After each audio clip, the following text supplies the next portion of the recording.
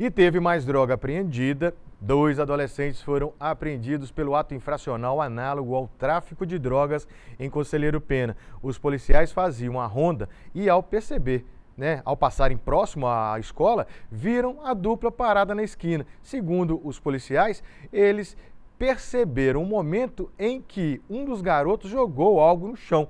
Ao serem revistados, nada foi encontrado com os jovens, mas próximo ao local onde eles estavam, os militares apreenderam uma sacola com nove buchas de maconha e dez reais em dinheiro.